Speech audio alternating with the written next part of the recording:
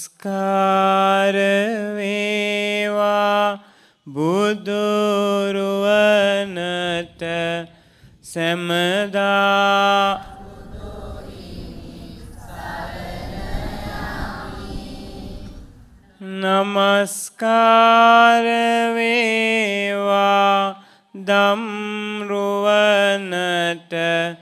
සැමදා සදහම් සරණ යමි නමස්කාර වේවා සංගරුවනට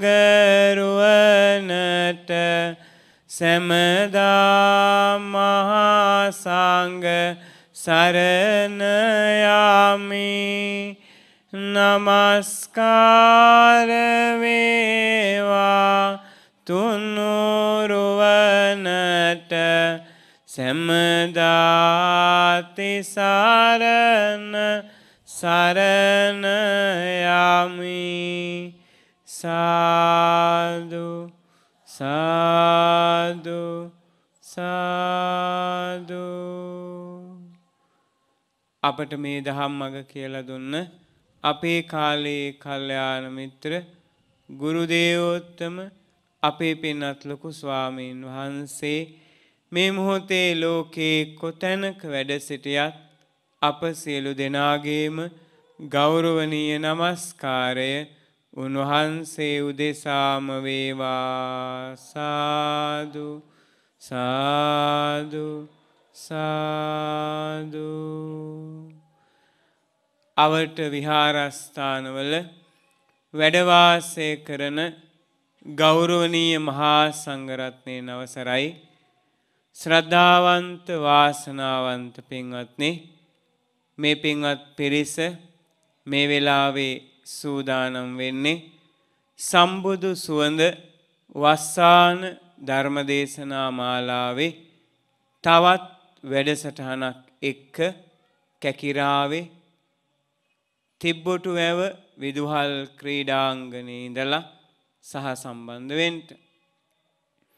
සම්බුදු සුවඳ නමින් වස්සාන ධර්මදේශනා මාලාවක් වස් කාලෙ පුරාවතම අනුරාධපුර ධම්මචේතිය මහමෙවුනා භාවනා අසපුව මගෙන් අනුරාධපුර දිස්ත්‍රික්කයේ පුරාවටම පවත්වමින් යනවා. බුදුරජාණන් වහන්සේගේ අවවාදයට අනුව චරත භික්කවේ චාරිකං බහුජන හිතාය බහුජන සුඛාය අත්තාය හිතාය දේව මනුස්සානං කියපු ඒ උත්තරීතර අවවාදයට අනුව යමින් අපි උත්සාහ කළා අපි උත්සාහ කරනවා. දෙවි මිනිස් ප්‍රජාවටම යහපත සැපය පිණිස හේතු වෙන ඒ උත්තරීතර දහම මේ සියලු දෙනාටම කියලා දෙන්න. පින්වත්නි අපි මේ පිට්ටනියට වෙලා ටික දෙනෙක් දාහක් හමාරක් බණ ඇහුවට දහස් ගණනක් මිනිස්සු තව ටික දිනකින් මේ ධර්ම දේශනාව අහනවා ඒ වගේම බලනවා. ලක්ෂ ගානක් මිනිස්සු මේ ධර්ම දේශනාව අහනවා බලනවා. ඒ වගේම ඒ ධර්ම දේශනාව අහලා ඒ වගේම බලලා බොහෝ දෙනෙක් සුවපත් භාවයට පත් වෙනවා. සුවපත් භාවයට පත් වෙනවා. ඒ බුදුරජාණන් වහන්සේගේ ධර්මයේ තුල තියෙන ගුණයක්. ඒ තමයි මිනිස්සු මේ දහම් අහන්ට අහන්ට සැපවත් වෙනවා සුවපත් වෙනවා කියන එක සිද්ධ වෙන දෙයක්. බුදුරජාණන් වහන්සේගේ ධර්මය සිත් සතන් සුවපත් කරනවා සනසවනවා විසිරුණු සිත් සංසිඳවනවා කැළඹුණු සිත් සංසිඳවනවා. ඒ තමයි බුදුරජාණන් වහන්සේගේ දහම ඉතින් බුදුරජාණන් වහන්සේලා වදාළ මේ දහම ඇහෙන්නේ බුද්ධ කාලෙකදී විතරයි. ලෝකයේ වැඩිපුරම තියෙන්නේ බුදුරජාණන් වහන්සේලාගේ දහම ඇහෙන්නේ නැති කාල. බුදුරජාණන් වහන්සේලාගේ දහම ඇහෙන්නේ කලාතුරකින්. ඒ කලාතුරකින් ඇහෙන දහම අහන්ඩ ලැබෙන්නේ වාසනාවන්තම පිරිසකට. ඒ වාසනාවන්ත පිරිස ඒ දහම අහලා ඉපදෙන මැරෙන සසර දුකින් එතෙර වෙන හැටි ඉගෙනගෙන ඒ පිරිස වීරිය කරලා උත්සාහ කරලා මේ ඉපදෙන මැරෙන ජරා දුකෙන් නිදහස් වෙනවා. ඉපදෙන මැරෙන ජරා දුකෙන් නිදහස් වෙනවා. කියලා කෙලවර කරන්න බැරි තරම් දුකක් අපි මේ ජීවිතේ ගෙවනකොට විඳවනවා. පින්වත්නි හිතාගන්නවත් බැරි තරම් දුකක් මේ ඉපදෙන සත්වයා මේ ලෝකයේදී විඳිනවා. ආන්ගේ දුකෙන් නිදහස් කරවන්ට තමයි සම්මා සම්බුදුරජාණන් වහන්සේලා මේ ලෝකෙට පහළ වෙන්නේ. සමහර වෙලාවට මේ දහම ගැන කතා කරනකොට සමහර අය කියනවා බුදුරජාණන් වහන්සේ දුක ගැනමනේ කතා කරන්නේ. බුදුරජාණන් වහන්සේ ධනාත්මක නෑනේ. බුදුරජාණන් වහන්සේ දුක ගැනනේ කියන්න කියලා. පින්වත්නි කළු ගැන කතා නොකර සුදු ගැන කතා කරන්න විදිහක් නෑ.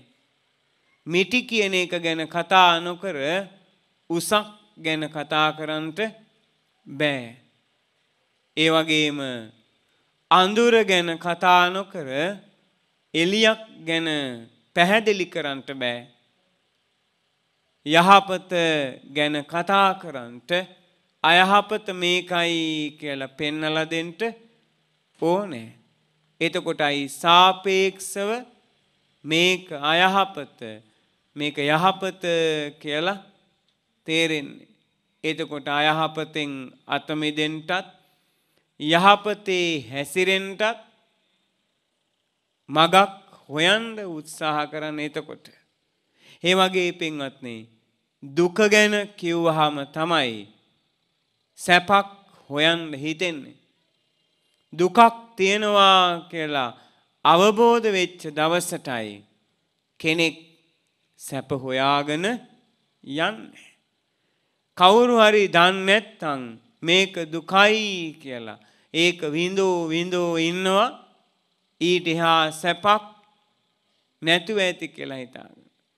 ඒ දුක ගැන කතා කළොත් මේක දුකයි මේ මේ දේ දුකයි කියලා කියලා දුන්නොත් සැප කියලා දෙයක් තියෙනවා.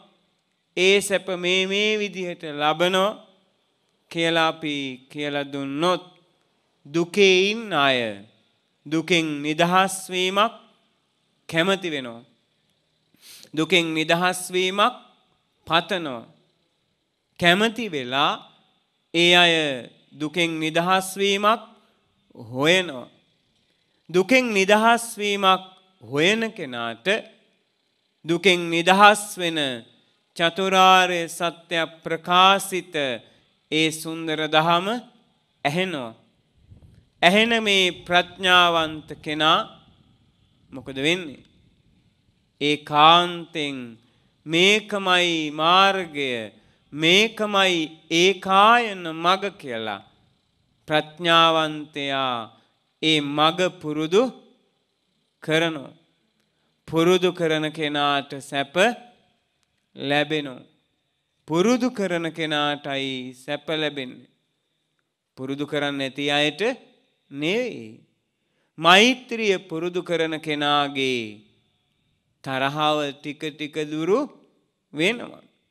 අසුභය වඩන කෙනාගේ හිතේ පංචකාමයට තියෙන කාමයට තියෙන ආසාව ටික ටික දුරු වෙනවා. එක පාර වෙන දෙයක් නෙවෙයි ටික ටික ටික ටික දුරු වෙනවා. අනිත්‍ය වඩන කෙනාගේ මෝහය මෝඩකම යථා ස්වභාවයෙන් නොදන්නකම ටික ටික දුරු වෙනවා. එතකොට ආංගේ අය ටික ටික ටික ටික මේ ධර්ම මාර්ගයේ පුරුදු කරලා මොකද වෙන්නේ? ටික ටික පුරුදු කරලා එයාලා දවසක එයමා මහ නිවන සාක්ෂාත් කරනවා. ඒ වැඩපිළිවෙල පුරුදු කරන්න ඕන. ඒ වැඩපිළිවෙල පුරුදු නොකර කවදාවත් මේ දුකින් නිදහස් වෙන්න වෙන්නේ නෑ. අර අපි අහපු කතාවක් තියෙන්නේ නේද? වක්කලී හාමුදුරුවෝ බුදුරජාණන් වහන්සේගේ සිවුරු පොටේ එල්ලිලා ඉන්නවලු. එතකොට බුදුරජාණන් වහන්සේ අහනවලු ඇයි මේ වක්කලී අනේ ස්වාමීනී ඔබ වහන්සේ නොදැක ඔබ වහන්සේ ගැන නොදැක ඔබ වහන්සේ ළඟ නොඉඳ මට දවසක්වත් ගත කරන්න බෑ. ඔබ වහන්සේ නැතුව මට ඉන්න බෑ කියලා. ඒ වෙලාවේ මහා කාරුණිකයන් වහන්සේ අපේ බුදුරජාණන් වහන්සේ දේශනා කරනවා වක්කලී මාසෙ පෝය දවසට ගොඩක් කළුවරයි නේද කියලහන. එහෙමයි ස්වාමීනී මාසෙ පෝයට හරි කරුවලයිනේ. වක්කලී මාසෙ පෝයේ දවසක ගනාඳුරු රෑක වක්කලී මනුස්සෙක් මන්දිහාවට කළුපාට ඊතලයක් විදිනවා. වක්කලී ඔබ මොකද හිතන්නේ? ඒ මගේ ළඟ වැටෙන ඊතලේ ඒ ගනාඳුරු රැයේ මට පේනවද කියලා. ස්වාමීනී පේන්නේ නෑ කිව්වා. වක්කලී ඇයි ළඟ වැටුණු ඊතලේ පේන්නේ නැත්තේ? ස්වාමීනී අඳුර නිසා පේන්නේ නෑ කිව්වා. වක්කලී ජේතවනාරාමෙට හොඳට ඉර පායලා තියෙන කාලේ වැස්ස වැස්සට පස්සේ දූවිලි තට්ටු පොළොවට වැටුණට පස්සේ අහස හොඳට පැහැදිලි වෙලා තියෙන මද්දානක වක්කලී සැවැත් නුවරට හිමාල කන්ද පේනවද කියලා ඇහුවා. ස්වාමීනී ගිනි මද්දානක හොඳට ඉර පායලා තියෙන වෙලාවක වලාකුලින් තොර ඒ කාලේ හිමාල කන්ද ඈතට පේනවා ස්වාමී. ඇයි එහෙම වෙන්නේ කියලා කිව්වා. ඒතකොට කියනවා ස්වාමීනි අහස මනාව පැහැදිලි. ඒ නිසා ඈත තියෙන හිමාල කන්ද වුණත් පේනවා කිව්වා. ඒ වෙලාවේ බුදුරජාණන් වහන්සේ දේශනා කරනවා. වක්කලී මම යම් ප්‍රතිපදාවක් දේශනා කළාද ආංගේ ප්‍රතිපදාව පුරුදු කරන්න නැති කෙනා හරියට මගේ ළඟ කළුවරේ වැටිච්ච ඊතලේ වගේ මම යම් ප්‍රතිපදාවක් වදාලාද ඒ ප්‍රතිපදාව පුරුදු කරන්න නැති කෙනා හරියට මගේ ළඟ වැටිච්ච ඊතලේ වගේ කියනවා මට ඒක පේන්නේ නෑ. ඒ වගේ තමයි ප්‍රතිපදාව පුරුදු කරන්න නැති කෙනා. මං යම් ප්‍රතිපදාවක් පැනෙව්වද? ඒ ප්‍රතිපදාව පුරුදු කරන්න නැති කෙනා මට පේන්නේ වක්කලි සිවුරු පොටේ එල්ලිලා හිටියත් ළඟ වැටුණු ඊතලේ පේන්නේ වගේම. සිවුරු පොටේ එල්ලිලා හිටියත් කියපු ප්‍රතිපදාව පුරුදු කරන්න නැත්තම් වක්කලී මට යාව පේන්නේ නෑ කිව්වා. වක්කලී කවුරු හරි කෙනෙක් මම වදාළ විදිහටම ප්‍රතිපදාව පුරුදු කරනවා නම් කියපු විදිහටම කරගෙන යනවානං ආං ඒ කෙනා හරියට අර ඈත තියෙන හිමාල කන්ද පැහැදිලි අහසක් තියෙන දවසක ගිනි මද්දානක මට පේනවා වගේ වක්කලී ඈත තියෙන හිමාල කන්ද පේනවා වගේ මට ඒ ප්‍රතිපදාව පුරුදු කරන කෙනා ළඟ නොහිටියත් මට යාව පේනවා ළඟ නොහිටියත් මට යාව පේනවා එහෙමනම් පෙන්වත්නි මේක අහලා ඉවර කරන්න ඕන දහමක් නෙවෙයි පුරුදු කරලා අවසන් කරන දහමක්. මේ දහම අහලා ඉවර කරලා බෑ. මේ දහම පුරුදු කරන දහමක් ප්‍රගුණ කරන දහමක්. බුදුරජාණන් වහන්සේ පනවනවා ගිහියට තෙරුවන් සරණ පිහිටන්ඩම ඕනෑ. තෙරුවන් සරණ පිහිටන්ඩම ඕනෑ. ඊළඟට ගිහියා නිති පන්සිල් රකින්ඩම ඕනෑ. ඒ කියන්නේ උපන්දා ඉඳලා මැරෙනකම්ම සතෙක් මරන්න බෑ උපන්දා ඉඳලා මැරෙනකම්ම හොරකමක් වෙන්න බෑ. උපන්දා ඉඳලා මැරෙනකම්ම වැරදි කාම සේවනය වෙන්න බෑ. උපන්දා ඉඳලා මැරෙනකම්ම බොරු කියවෙන්න බෑ. උපන්දා ඉඳලා මැරෙනකම්ම මත් පැන් මද්‍රවය පානය කරන්න බෑ. ජරාවට පත්වෙන කම්ම පුරුදු කරන්න ඕනේ සීලය කියලා බුද්ධ දේශනාවේ තියෙනවා. ජරාවට පත් වෙනකම්ම මොනවද පුරුදු කරන්න ඕනේ කිව්වහම ඒ ප්‍රශ්නේ අහපුවාම බුදුරජාණන් වහන්සේ දේශනා කරනවා මහණෙනි ජරාවට යනකම්ම වයසට යනකම්ම මැරෙනකම්ම සීලය පුරුදු කරන්න ඕනේ. මොකද්ද පුරුදු කරන්න ඕනේ? සීලය. එතකොට නිති පන්සිල් ගිහිය රකින්න ඕනේ. එතකොට තෙරුවන් සරණ යන්නත් ඕනේ. නිති පන්සිල් රකින්ටත් ඕනේ ගිහියගේ ප්‍රතිපදාව ඒක. තෙරුවන් සරණ යනවා කියන්නේ බුදුරජාණන් වහන්සේ ඒ කෙනාගේ එකම ශාස්තෘන් වහන්සේ වෙන්න ඕනේ. බුදුරජාණන් වහන්සේගේ දහම ඒ කෙනාගේ එකම දහම වෙන්න ඕනේ හේතුඵල දහම කර්ම කර්මඵල මිස ඉරහඳ තාරකාවලට වගකීම් බාර දෙන්න හොඳ නෑ. හේතුඵල දහමයි එයාගේ දහම. එයාගේ දහම කර්ම කර්මඵල. එහෙම නැතුව අඟහරුට සෙනසුරුට එයාගේ ජීවිතේ තීරණය කරන්න එයා දෙන්නේ නෑ. ඊළඟට එයාගේ උත්තරීතරම පිරිස ශ්‍රාවක සංඝයා ශ්‍රාවක සංඝයා තමයි එයාට ඉන්න උතුම්ම පිරිස. ඒ වගේම එයා ඒ විදිහට තිසරණේ පිහිටනවා. කවදාවත් මොනම හේතුවකටවත් ජීවිතේ ගියත් තිසරණේ වෙනස් කරන්නේ නැහැ. මොනවා වෙනුවෙන්වත් එයා තිසරණේ වෙනස් කරන්නේ නෑ. අපි දැකලා තියෙනවා. අපි අහලා තියෙනවා.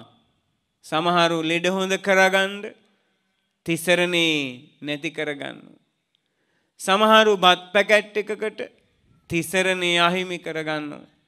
සමහරු රස්සාවකට තිසරණේ අහිමි කරගන්නවා. සමහරු විවාහය වෙනුවෙන් තිසරණේ අහිමි කරගන්නෝ. හිමි කරගත්තේ කුණුවෙන දෙයක් අසූචි ගොඩක් ජරාවට යන දෙයක් අහිමි වුණේ නිවන හදන දේ අහිමි වුණේ සසර දුකින්ම එතර කරවන එක්කම සරණ කෙටියෙන් කල්පනා කරන නිසා දුරදිග නොබලන නිසා අදාද ජීවත් වෙන නිසා. නිවනක් ගැන දැනුමක්වත් නැති නිසා. කල්යාණ මිත්‍ර ඇසුරක් නැති නිසා. සද්ධර්ම ශ්‍රවණයක් නැති නිසා. යහපත අයහපත කියලා දෙන්න කෙනෙක් නැති නිසා කියලා දුන්නත් පිළිගන්න ලෑස්ති නැති නිසා ඒ අය ආයේ ආයේ ඒ සරණ අහිමි කරගන්න. ඒ සරණ අහිමි කරගන්න. එතකොට ගිහියගේ ප්‍රතිපදාව තිසරණයයි සීලයයි. සීලය නිති පන්සිල් වෙන්න ඕනේ. පෝය දවසට උපෝසතේ සමාදන් වෙන්නම ඕනේ. ඒකනේ බුදුරජාණන්සේ පනවන්නේ.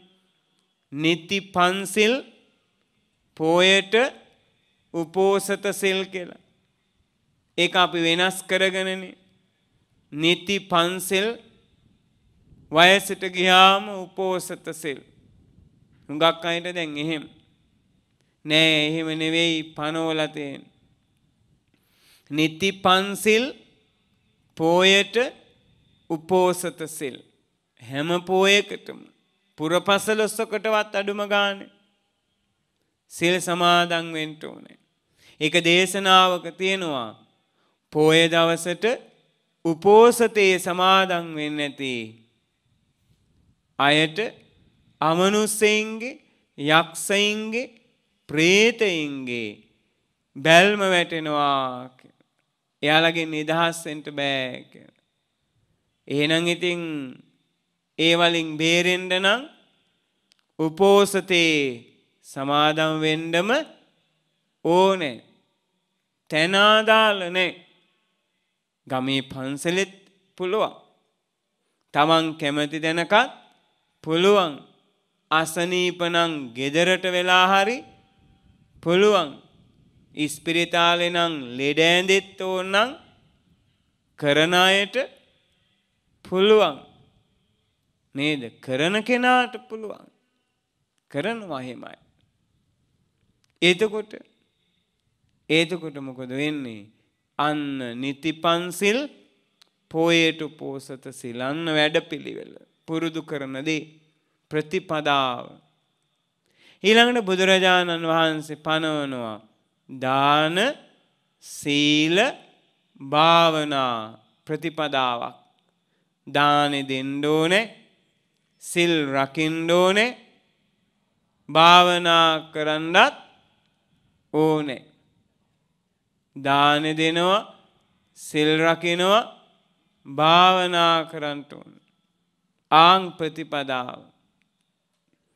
සීල සමාධි ප්‍රඥා සීලය පුරුදු කරන්න ඕනේ සමාධිය වඩන්න ඕනේ ප්‍රඥාව වඩන්ට ඕනේ සීල සමාධි ප්‍රඥා ඔන්න වැඩපිළිවෙල. ඔන්න ඔය වැඩපිළිවෙල ප්‍රතිපදාව පුරුදු කරනවා නම් ආංගේ කෙනා හිමාල කන්ද වගේ ඈත හිටියත් පේනවා කියන. ප්‍රතිපදාවේ නැති කෙනා ළඟ හිටියත් පේන්නේ කියන. දැන් තම තමන් තීරණය කරන්න ඕනේ.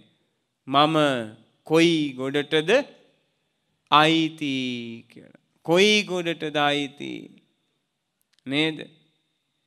අප්‍රේල් කාලෙට වෙන ආගමක වෙසක් පොසොන් වලට තව ආගමක දෙසැම්බර් වලට තව ආගමක නේද? ඕන් අපේ හැටි. Taman දන්න දැනගන්න ඕනේ. ඉපදුන දවසේ ඉඳලා මැරෙනකන් හරියි බහතේරෙන දවස ඉඳලා මැරෙනකන් හරි බුදුරජාණන් වහන්සේ සරණයන්ට ධර්මයේ සංඝයා සරණයන්ට එකම සරණ තිසරණේ කියලා පිළි අරගෙන සරණයන්ට සීලයක් පුරුදු කරන්නට ආං ප්‍රතිපදාව ආං ඒ ප්‍රතිපදාවේ ඉන්න කෙනා දුර හිටියත් බුදුරජාණන් වහන්සේට යාව පේනවා මං එයාව දකිනවා මහණෙනි එහෙමනම් මේ පින්වත් පිරිස හොඳට හිතට ගන්න ඕනේ. හොඳට හිතට ගන්න ඕනේ. දුර්ලභ වූ manussලාභයක් ලැබපු මේ වෙලාවේ ඊටත් වඩා අතිශය දුර්ලභ බුද්ධ ශාසනයක් මුණගැහිච්ච වෙලාවේ තම තමන් උත්සාහ කරන්න ඕනේ පින්වත්නි. මේ අවස්ථාවෙන් ප්‍රයෝජනේ ගන්ට නේද? ප්‍රයෝජනේ ගන්ට ඒ නිසා හොඳට කල්පනා කරන්නට. අපි අද දවසේ සම්බුදු සුවඳ වස්සාන ධර්මදේශනාවේදී ඔබට ලස්සන සූත්‍ර දේශනාවක් කියලා දෙන්න බලාපොරොත්තු වෙනවා. මේ සූත්‍ර දේශනාව තියෙන්නේ සංයුක්ත නිකායේ. මේ සූත්‍ර දේශනාව තියෙන්නේ සංයුක්ත නිකායේ දේශනාවේ නම මසුරු පුද්ගලයා ගැන වදාළ දෙසුම. මසුරු පුද්ගලයා ගැන වදාළ දෙසුම. මච්චරී සූත්‍රය. මච්චරී සූත්‍රය. ඕන දැන් ඉතින් මං කවුද කියලා. තම තමන්ටම මැනගන්ට පුළුවන් දේශනාව අවසාන වෙනකොට. මං කවුද? මම කොතැනද? මං කොයිබටද නේද? මම කවුද? මම කොතැනද? මම කොයිබටද? මටමක් වෙයිද? ඔය ටික හොයාගන්ට පුළුවන්. කෙසේ වෙනස් විය යුතුද? වෙනස් නොවුනොත් මට මොකක් වෙයිද? මේවා ඉගෙන ගන්නට වෙනවා. ආයේ අමුතුවෙන් පන්තියන්ට ඕනේ නෑ. තමන්ටම තේරුම් ගන්නට පුළුවන් ඒකනේ ධර්මයේ අසිරිය. ඕපනයිකයිනේ තමා තුළින්මයි දකින්ට තියෙන්නේ. ඒ වගේම පච්චත්තං වේදිතබ්බෝ විඤ්ඤූහීනේ. තම තම නැන පමණට තේරෙනවනේ තම තම නැන පමණට තේරෙන. ඒ නිසා මොකද වෙන්නේ? මේ පින්වත් පිරිස හොඳට අහගන්ට මච්චරී සූත්‍රය මසුරු පුද්ගලයා ගැන වදාළ දෙසුම නේද බුදුරජාණන් වහන්සේ ගාවට දෙවි කෙනෙක් එනවා. දෙවි කෙනෙක් ඇවිල්ලා බුදුරජාණන් වහන්සේට වන්දනා කරනවා. වන්දනා කරලා එකත් පස්සව හිටගන්න. එකත් පස්සව හිටගන්න මේ දෙවියා බුදුරජාණන් වහන්සේගෙන් මෙන්න මෙහෙම අහනවා. බුදුරජාණන් වහන්සේ ළඟ මෙහෙම ප්‍රකාශයක් කරනවා. මේ දෙවියා කියනවා මේ ලෝකේ ඉන්නවා මසුරු කම් කරන උදවිය මේ ලෝකේ ඉන්නවා මසුරු කම් කරන උදවිය. එයාලා හරීම ලෝබයි කියනවා එයාලා හරීම ලෝබයි කියනවා අනුන්ට අපහාස කරනවා කියනවා අනුන්ට අපහාස කරනවා කියනවා දන් දෙන අයටවත් දෙන්න දෙන්නේ නෑ කියනවා. දන් දෙන අයටවත් දෙන්න දෙන්නේ නෑ කියනවා.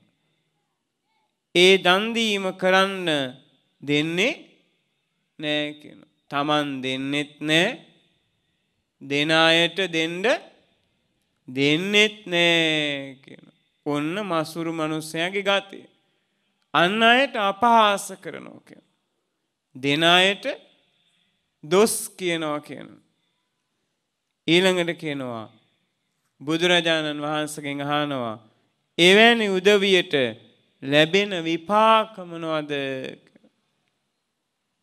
ලෝබාය ඉන්නවා මස්සුරු අය ඉන්නවා ඒ අය අන්න අයට අපහාස කරනවා දන් දෙන්ඩ දෙන්නෙත් නෑ දෙනායට දොස් කියනවා අපහාස කරනවා ඒ දන් දීම කරන්න දෙන්නෙත් නැහැ. මෙන්න මේ අයට ලැබෙන විපාක මොනවද?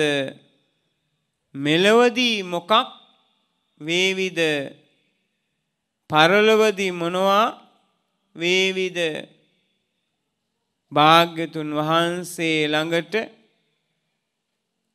ආවේ මෙන්න මේ කරුණ දැනගන්න කියලා. භාග්‍යතුන් වහන්සේ ළඟට ආවේ මෙන්න මේ කාරණේ දැනගන්ට කියන. කියලා දෙනවද කියලා අහනවා. මොකක්ද අහන කාරණේ මේ ලෝකේ ඉන්නවා මස්සුරු මිනිස්සු. හරි ලෝබයි කියන. ඒ වගේම අනුන්ට අපහාස කරනවා කියනවා. දාන දෙන්න දෙන්නේ නෑ කියනවා. දෙන අයටත් දොස් කියනවා කියනවා. දෙන්න දෙන්නේ නෑ. Taman දෙන්නෙත් නෑ කියනවා. ආන් ඒ අයට මෙලොවදි මොකද වෙන්නේ කියලා අහනවා. ඒ අයට ස්වාමීනි පරලොවදි මොකක් වෙයිද කියලා අහනවා. ස්වාමීනි මෙන්න මේ කරුණ දැනගන්න තමයි අපි මේ දුර බැහැර ගෙවාගෙන පැමිණියේ කියලා ඔන්න බුදුරජාණන් වහන්සේගෙන් අහනවා දෙවියන්. දැන් ඉතින් අපි අහන ප්‍රශ්න වගේ නෙවෙයි. නේද? අපි යවුවනම් ඉතින් අහන්න ඉතින් හිතාගන්නවත් බැරි ප්‍රශ්න. ඒත් මේ දෙවියා ඇහුවා ලස්සන ප්‍රශ්නයක්. ප්‍රායෝගිකයිනේ ප්‍රායෝගික ප්‍රශ්නයක්. එතකොට බුදුරජාණන් වහන්සේ දේශනා කරනවා මේ ලෝකේ නපුරුකම් කරන උදවිය ඉන්නවා කියනවා. මේ ලෝකේ මසුරුකම් කරන උදවිය ඉන්නවා කියනවා. එයාලා හරි ලෝභයි කියනවා. මේ ලෝකේ මසුරුකම් කරන අය හරිම ලෝභයි කියනවා. අනුන්ට අපහාස කරනවා තමා කියනවා. එනම් බුදුරජාණන්සේ මතය අනුමත කරනවා. අනුන්ට අපහාස කරනවා තමයි කියනවා. දන් දෙන උදවියට දන් දීම කරන්න දෙන්නෙත් නෑ තමා කියනවා. මේ ලෝකේ මසුරු උදවිය ඉන්නවා තමයි. ඒ අය අනුන්ටත් අපහාස කරනවා තමයි. ඒ අය දන් දෙන්නෙත් නෑ තමයි. දෙන අයට දෙන්න දෙන්නෙත් නෑ තමයි කියන බුදුරජාණන් වහන්සේ. එහෙම කියන බුදුරජාණන් වහන්සේ තවදුරටත් දේශනා කරනවා. ඉතින් ඒ උදවිය මැරුණට පස්සේ නරකාදී උපදිනවා කියන. ඒ උදවිය මැරුණට පස්සේ නරකාදී උපදිනවා කියන. ඒ කියන්නේ අපායේ උපදිනවා කියන. තිරිසන් ලෝකේ උපදිනවා කියන. අපායේ ඉපදිනවා තිරිසන් ලෝකේ උපදිනවා කියන. යම ලෝකේ යනවා කියන. ආයෙමත් මනුස්ස ලෝකේ එනවා නම් දවසක අපායේ ගිහිල්ලා තිරිසන් ලෝකෙ ගිහිල්ලා පෙරේත ලෝකෙ ගිහිල්ලා යම් දවසක මනුස්ස ලෝකේ එනවනම් ගොඩාක් දුප්පත් පවුල්වල ඉපදෙනවා කියන. මස්සුරු උදවිය. දාන දෙන්නේ නැති අය. දුප්පත් වෙලා උපදිනවා කියනවා. එතකොට හරි හමන් කෑමක් බීමක් නෑ කියනවා. හරි හමන් ඇඳුමක් පැළඳුමක් නෑ කියනවා. හරි හමන් යානවාහනයක් නෑ කියනවා. ඊළඟට කිසි සතුටක් නෑ කියන. කිසිම සතුටක් නෑ කියනු. දුකසේ තමයි ජීවිතේ ගෙවන්න කියනු. එයාලා දුකසේම තමයි ජීවිතේ ගෙවන්න කියනු. මෙහෙම ජීවිත තියෙනවද නැත් දුප්පත් මිනිස්සෙන්වා නේද? ඕ. කෑමබීම හරියට තියෙනවද? නෑ. ඇඳුමක් පැළඳුමක් හරියට තියෙනවද? නෑ. ඊළඟට සැනසිල්ලක් තියෙනවද? නෑ. නේද? සැනසිල්ලක් නෑ. කෑමක් බීමක් නෑ. ඇඳුමක් පැළඳුමක් නෑ. ගමන් බිමන් යන්න එකක් නෑ. දුප්පත්. එදා වේලත් බොහොම දුකසේ ලැබෙන්නේ. මේ කවුද? මස්සුරු මිනිස්සු සංසාරේ. ලෝභ මිනිස්සු සංසාරේ. නේද? ලෝභ මිනිස්සු. මස්සුරු මිනිස්සු. නේද? ආං දීපු නැති අය. දෙන එකට අපහාස කරපු අය. දන් දෙනකොට දෙන දානේ දෙන්න දුන්නු නැති අය. මරිලා අපායේ යනවා තිරිසන් ලෝකේ යනවා. පෙරේත ලෝකේ යනවා. යම් දවසක ඕවල විඳෝල විඳෝලා මනුස්ස ලෝකේ ආවොත් ඒ අය දුප්පත් වෙලා ඉපදෙනවා. බොහෝ දුප්පත් වෙලා ඉපදෙනවා. හරි හමනට කෑමක් නෑ. ඉදුම් හිටුම් නෑ. ඇඳුමක් පැළඳුමක් නෑ. අඩුගානේ බේතක් හේතක් කරගන්නවත් සල්ලි නෑ කියන. එහෙම අය මේ ලෝකෙ ඉන්නවද නැත් මෙහෙත් ඕන තරන්නේනේ ඊට වඩා කොච්චර ලෝකෙ ඉන්නවදනේ එහෙමයි ඉන්න.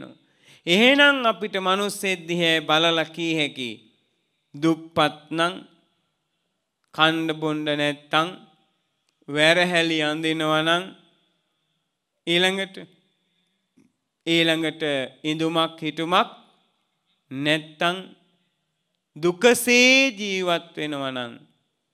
එහෙමනං සසරේ මස්සුරු මනුස්සෙක් දානෙදීපු නැති කෙනෙක් ලෝභ කෙනෙක් නේද? පොට්ටනි ගහපු කෙනෙක් නේද? පොට්ටනි ගහලා. නිකං හරියටම හරිද නැද්දේ තීරණේ? හරියටම හරි. ඒ මනුස්සය ඇඟ මහන්සි කොරලා හම්බ කොරලා නැද්ද? ඒ දැන් ගමේ මිනිස්සු කියනවනේ අපේ මිනිස්සු කියනවනේ අපි ඉතින් මේ ඇඟ මහන්සි කරලා ඇඟපත මහන්සි කරලා දාඩිය මහන්සියෙන් හරි හම්බ කරපුවා කියලා. නේද? ඇඟපත වෙහෙසෝලා දාඩිය මහන්සියෙන් නම් හම්බ කළේ අර බර උස්සන මනුස්සෝ යන්න එපැයි ප්‍රාඩෝ බෙන්ස්වල නේද? දොස්තර මහත්තුරු ඉන්න එපැයි. දුගී පැල් කොටවල ඉංජිනේරුව ඉන්න එපැයි පැල් කොටන්වල ඇයි? දේ දාඩියත් නෑනේ ඇඟ මහන්ස වෙන්නෙත් නෑනේ නෑ. පෝසත් උනේ ඇඟ මහන්සි වුණාට නෙවෙයි. එහෙමනම් ඉතින් ඔය උදැල්ලක් අරන් කොටමු කුබින්. දේන් කොටන්න කොටන්න ලැබෙයිනේ. නෑ ඇඟ මහන්සි කළාට වෙන්නේ නෑ. ලැබෙන්නේ මොකටද? දුන්නුකමට. දුන්නොත් ලැබෙනවා. දීම සමානයි ලැබීම. දීම සමානයි ලැබීම. දෙන්ඩ දෙන්ඩ ලැබෙනවා. ලැබෙන්ඩ ලැබෙන්ඩ අපි පොට්ටනි ගහනවද? නෑ ආයෙත් දෙන්ඩ ඕ නෑ. දෙන්ඩ දෙන්ඩ ලැබෙනවා. ලැබෙන්ඩ ලැබෙන්ඩ දෙනවා. දෙන්ඩ දෙන්ඩ ලැබෙන්ඩ සුදුස්සෙක් වෙනවා. ආයායෙත් දෙන්ඩ දෙන්ඩ ලැබෙන්ඩ සුදුස්සෙක් වෙනවා. බැරි වෙලාවත් දුන්නු දේතියාගත්තොත් ආයේ දෙන්න සුදුස්සෙක් වෙන්නේ නෑ. ඇයි? ගොඩ ගැහිලන් නිකමට හිතන්න කොන්න මගේ අත් දෙකට මොනවහරි දේනවා. තැන් ඉතින් ඔන්න මූුණ වැහෙනකම්ම තියෙනවා. දැන් මට දෙන්න සුදුසුද? නෑනෙ උත්සං ඉන්ඩ බෑන දැන්. ඒ නිසා මෙයාට තියෙනවනේ කියලා වෙන කෙනෙකුට දෙනවා. ඕන දැන් මට දීපුව කාට හරි දෙනවා. එතකොට මගේ අත් දෙකේ මොකොත් නෑ. දැම්මං ලබන්ඩ සුදුසුද නැත් ලබන්ඩ සුදුසුයි. ඇයි ලබන්න සුදුසු? ලැබිච්ච දේ දුන්නු නිසා. ලැබිච්ච දේ දුන්නා. ඒ නිසා ලබන්න සුදුසුයි. බලන්නකෝ දැන් අපේ ඇඟේ ලේ තියෙනවනේ. දවසට පයින්ටක දෙක තුන උනනවද? නෑනේ. හැබැයි කෙනෙක් ලේ පයින්ට් එකක් දුන්න ගමන් පැය 24න් ඒලේ ලැබෙනවද නැද්දැඟට. ඒලේ ලැබෙනවා. දුන්නු නිසා ලැබෙනවා. ලිඳේ වතුර කොහොමද ඕ ලිඳේ වතුර ගන්ධ ගන්ධ උනනවද නැත් ඌනනවා ගන්ධ ගන්ධ ඌනනවා අපි නොගෙන හිටියොත් වතුර පල් වෙලා අපිට පාවිච්චි කරන්නත් බැරි වෙනවා වතුර පල් වෙලා යනවා අපිට පාවිච්චි කරන්නත් බැරි වෙනවා. අර කොසල් රජ්ජුරුව ඉඳ හිට එනවන ගිනිමත් දානේ එතකොට බුදුරජාණන් වහන්සේ නෝස් රජතුමනි මේ කොහෙද ගිනිමත් දාන ගිහින්ෙන් ස්වාමීනී රජගහනුවර ස්වාමීනී සැවැත්නුවර හිටිය සිටු පවුලක්. ඒ දෙන්න දුකසේ ජීවත් උනේ දානයක් දුන්නෙත් නෑ කෑවෙ බිව්වෙත් නෑ. ඒවා ගොඩගහාගන ඔහේ බල බල හූල්ල හොල්ල හිටිය. දැම් මේ ජෝඩුව මලා මැරුණ ජෝඩුවගේ දේපල රාජ සන්තක කරලා එන ගමන් දුන්නෙත් නෑ පාවිච්චි කොලෙත් නෑ නේ එතකොට දෙන්ඩ දෙන්ඩ ලැබෙනවා. දුන්නු දේ තියාගත්තොත් ලැබෙන එක නවතිනවා. දුන්නු දේ තියාගත්තොත් ලැබෙන එක නවතිනවා. එහෙනම් අත්හැරීම කියන්න මොකක්ද? මේ ලෝකයේ තියෙන ලස්සනම කලාව. අත්හැරීම කියන්නේ මොකද්ද? මේ ලෝකයේ තියෙන ලස්සනම කලාව. බුදුරජාණන් වහන්සේ හරි ලස්සනට අත්හරින හැටි කියලා දෙනවා. ඉස්සරෝම ලේසියෙන් අත්හරින දේවල් අතාරින්න කියලා දෙනවා. ඊට පස්සේ ඊට වඩා ටිකක් අමාරු ඒවා අතාරින හැටි කියලා දෙනවා. ඊට පස්සේ අතාරින්න බැරි ඒවා අතාරින හැටි කියලා දෙනවා. දැන් බලන්නකො පින්වත්නි අපි gedara තියෙන හාල් පොල් ඔය වෑංජන උයන එළවලු මාළු අරගෙන හොඳට උයලා දානෙ පූජා කරනවා. දැන් ලේසිද නැද්ද අතාරින්ට? සාමාන්‍යයෙන් ලේසිනේ කන බොන දෙයක් දෙන්න ඕන කෙනෙක් කැමතිද නැද්ද? බහුතරය කැමති කියමුකෝ. කන්න බොන්න දෙන්න කැමති. දැන් ඔන්න එයා අත්හැරීම පුරුදු කළා. දානය. දැන් දානෙ දෙන්න යන්න එපැයි පන්සලට. ගියපු ගමන් ස්වාමීන් වහන්සේ අල්ලලා සිල් සමාදන් කරවන. දැන් දෙන්න ගියේ හාල් පොල් සීනිතේ කොළ. දැන් ගිය ගමන් අත්හරින්න කිව්වා ඊට එහා ඒවත් ටිකක් අමාරුයි. මොනවදේ සත්තු මරණ එකත් අතාරින්ට කිව්.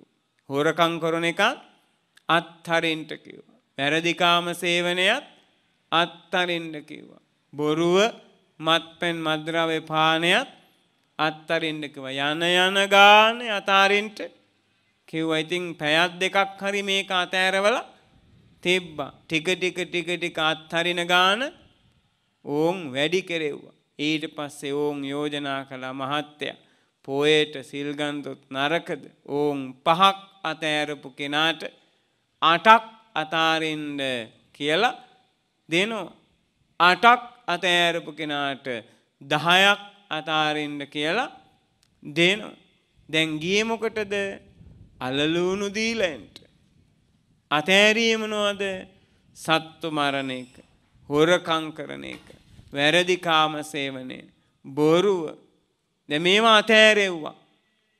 දැන් ගොරෝසු දේවල් අත්තරින්ට ගියාපු අපිට දැන් සියුම් දේවල් අතාරින්ට කියලා දුන්න ටික ටික අනු පිළිවෙලට. දෙදින් සත්තු මරණ එක නවත්තගණ්ඩ පුළුවන්නේ නේද. ඕන් අත් දෙක හරි බැඳල දෙබ්බගේමකො තලන්ඩෑ මදුරෝ දැන්. ඒති නිසා හරි බේරෙයි නෙනේ අත් කකුල් බැඳලා තියෙනවා. දැන් ප්‍රාණඝාත වෙන්නේ නෑ කියමුකෝ. නේද? කට වහනවා. බොරු කියන්නේ නෑ කියමුකෝ. නේද? පුළුවන් නේ. ඊට පස්සේ ඊට පස්සේ ඔන්න හොරකම් කරන එකත් නවත්ත ඕනවා. මෙය පුළුවන්. යම් පමණකට පුළුවන්.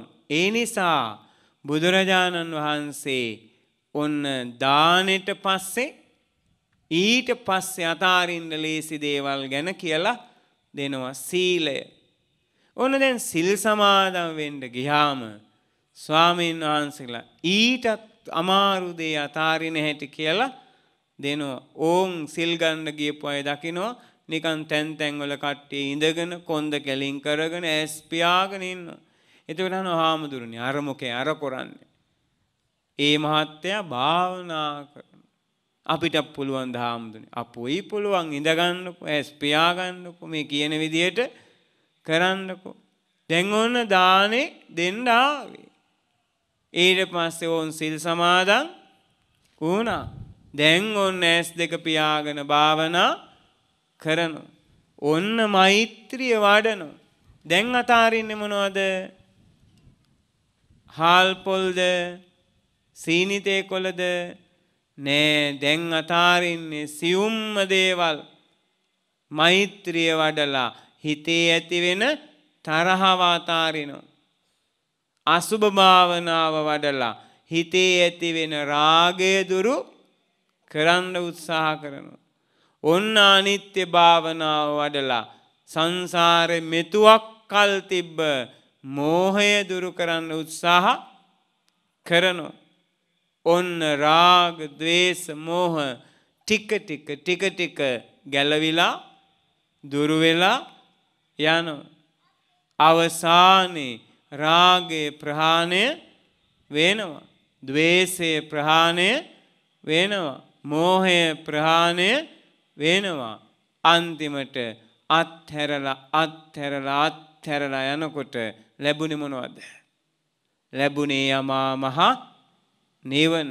පටන් ගත්තේ මොනවලින්? හාල් පොල් අතාරින්ට. හාල් පොල් අත්හරින්ට. අවසන් වුණේ මොකෙන්ද? අමා මහ නිවන සාක්ෂාත් කරලා අත්හැරීම මේ ලෝකයේ තියෙන ලස්සනම කලාවද නැත් අත්හැරීම කියන්නේ මේ ලෝකයේ තියෙන ලස්සනම කලාව ඇඳෙන චිත්‍රයේ නම මොකද්ද? ඒ අමා මහ නිවන. ඒ ඇඳෙන නිර්මාණයේ නම හැදෙන නිර්මාණයේ නම ඒ අමා මහ නිවන. එහෙමනම් අත්හරින් නැති විදවියට ඒ අමා නිවන ලැබෙන්නේ නෑ කියන. ඔයාලා මැරිලා මොකද වෙන්නේ? අපායේ යනවා කියනවා. තිරිසන් ලෝකේ යනවා කියන. පෙරේත ලෝකේ උපදිනවා කියන. යම් දවසක එයාලා මනුස්ස ලෝකේ උපදිනවද? ආන් එදාට එයාලා දුප්පත් වෙලා උපදිනවා කියනවා. කෑම බීම නෑ කියනවා. ඇඳුම් පැළඳුම් නෑ කියනවා. ඉන්න හිටින්න තැන් නෑ කියනවා. ගමනක් බිමනක් නෑ කියනවා. බේත් හේත් නෑ කියනවා. දුන්නේ නැති නිසා ලැබෙන්නේ නෑ දීපු නැති නිසා ලැබෙන්නේ නෑ කියනවා. නේද? එහෙමනම් මේක වෙයිද නැද්ද අපටත්? අපටත් මෙහෙම්මම වෙනවා. එක තරුණ ළමෙක් බුදුරජාණන් වහන්සේගෙන් බණ ඇහුවා. ඊට පස්සේ හොඳට හිත පැහැදුනා. ඉතින් මේ ළමයා දවසක් දැක්කා මිනිස්සු ටිකක් එකතු වෙලා දානයක් පූජා කරනවා. මේ කොල්ලන්ටත් දානෙ දෙන්න හේතු වුණා. මොකද වෙන්නේ? දානෙ දෙන්න හිතිලා මෙයත් බුදුරජාණන් වහන්සේ ප්‍රමුඛ සංඝයාට දානකට ආරාධනා කළා. දානේ ආරාධනා කරලා දවස් කීපයක් තියෙන නිසා මේ ළමයා මොකද කළේ? යාළුවන්ගේ නෑදෑයින්ගේ ගමේ හැම ගෙදරකටම ගියා. ගිහිල්ලා කිව්වා මම දානයක් බාර ගත්තා. ඔයා කී නමක් බාර ගන්නවද? මම දෙනමක් බාර ගන්න. ඔයා කී නමක් බාර ගන්නවද? මම එක නමක් බාර ගන්න. ඔයා මොනවද බාරගන්නේ? මං හාල් මෙච්චරක් දෙනවා. ඔන්න දැන් ගෙන්ගෙට යනකොට පිළිතුරු ලැබුණා. ඕන්න ගමේ මුදලාලි ළඟටත් ගියා. කඩේ මුදලාලි ඉන්නවා. මුදලාලි මන් දානයක් බාරගත්තා. බුදුරජාණන් වහන්සේ ප්‍රමුඛ සංඝයා වඩිනු. මුදලාලි මොනවද දෙන්නේ? මුදලාලි බැලුව කොල්ලගේ යටිපතුල ඉඳලා උඩටම බලලා හැවමා දානයක් නේ. දෙන්න නේ. හා. මගෙන් මොකුත් ඕනේ නේ. ඉන්ටකෝ කිව්වා. කියලා මොකද කළේ? ඇඟිලි තුන මෙහෙම ලං කළා. මුං ඇට තියෙන තැනට ගියා. ඇඟිලි තුනෙන් ගත්තා. මෙන්න දානෙට. මුං ඇට දුන්නා. ඕන් හාල් තියෙන තැනට ගියා. ඇඟිලි තුනෙන් ගත්තා. මෙන්න දානෙට හාල්. දැන් අර තියෙන තියෙන තැන් වලට ගිහලා මෙන්න දානෙට ඔන්න මේවා. කේකිය දැන් දුන්. දීලා දීලා. ඉතින් අර පිරිමි ළමයා සද්ද නෑ ගන්නවා. ඊට පස්සේ දීලා ඉවරලා කිව්වා. පුළුවන් දෙයක් කරන්ට පැයි කිව්වා ඇඟිල්ලේ හැටියට ඉදිමෙන්ට පැයි කිව්වා ඔහේට බැරිනම් මොන එකටද බාරගත්තේ කියලා ආවා මෙතන දාන දෙන්න කිව්වා. ආවා දෙන්න දාන කිව්වා. පුළුවන් එකක් කොරන්ට පැයි කිව්වා. බී ළමයා මොකද කළේ? බොහොම පිං කිව්වා යන්ට ගියා. එතන කඩේ ගාවට දැන් හවසට සෙනග එනවා. මිනිස්සයා මොකද කරන්නේ අර දානෙ දෙන ළමයට හැමෝම ඉස්සරහා කිය කිය අපහාස කරන. අහවලාවා දානෙකට බලුවෙල්ලන්ට. මාත් දුන්න දීම මෙන්න මෙහෙම කීකය දැන් දීපු හැටි පේන්නවා. අරළමයට අපහාස කළා. එපැයි පුළුවන් දෙයක් කොරන්ට ඔන්න ලෝභයාගේ හැටි. නේද. ඔන්න මසුරු පුද්ගලයාගේ හැටි. දෙන්නෙත් නෑ දෙන්න දෙන්නෙත් නෑ අපහාසත් කරන. ඊට පස්සෙ මොකොද වෙන්නේ. ඕන්න ඒ මනුස්සයට එලොවම ද මෙලෝමද විපාක දුන්නේ. මෙලෝම විපාක දුන්නනේ අපහාස කරපු එකට. නමක් වැටුණා. මොකක්ද වැඩිච්ච නම දැන් මේ ඇඟිලි තුන එකට කරපුවාම බලල් කකුල වගේනේ. ඉතින් මිනිස්සු නමක් පැටබැන්දා. බලල් කකුලේ මුදලාලි බිලාල පාදක මුදලාලි කියලා අනුන්ට අපහාස කළා. එසැනින් තමන්ට අපකීර්තියක් ආව දැන් හැම තැනම ප්‍රසිද්ධ වුණා. බලල් කකුලේ මුදලාලි බිලාල පාදක සෙට්ටි කියලා නම ලැබුණා. ඊට පස්සේ මේ මිනිස්සයා කල්පනා කළා දැන් මේ වුණාට මේ මිනිස්සයා මගේ නමවත් කිව්වොත් මෙච්චරයි දුන්නේ කියලා. පස්ස ලැජ්ජාව කියලා. මොකද කළේ? දාන බෙදෙන තැනට ගියා පිහියකුත් ඉනේ ගහගෙන. බැරි වෙලාවත් මගේ නම කියලා අපහාස කළොත් ආයේ සෙනග මැද්දෑවි කියලා අරින්නේ අයිනෝ පිහියෙන් මැරෙන්න ඕන් දැන් හිතාගෙන ගියා. දැන් දානේ උයනකොට මොකද වෙන්නේ? දානය වෙනකොට මේ අහවලා දුන්නේවා. මේ අහවලා දුන්නේවා කියලා. ගොඩක් දුන්නේවයි, ටිකක් දුන්නේවයි හැම එකම දැම්ම කෙන අහක දාන්න නැතුව. දාලා මොකද කරන්නේ? දානේ උයලා බුදුරජාණන් වහන්සේ ප්‍රමුඛ සංඝයාට පූජා කළා කියන. අන්න සත්පුරුෂයාගේ විදිහ. පූජා කළාට පස්සේ මොකද කරන්නේ? බුක්තානුමෝදනාවෙන් පස්සේ පුණ්‍යානුමෝදනාව ගැන ළමය කියනවා කියන. ස්වාමීනී මේ දානෙ මං තනියම නෙවෙයි දුන්නේ. පිරිසක් එකතු කරගෙන දුන්නේ. ගොඩක් දීපු අයත් හිටිය. ටිකක් දීපු අයත් හිටිය. නොදීපු අයත් හිටිය.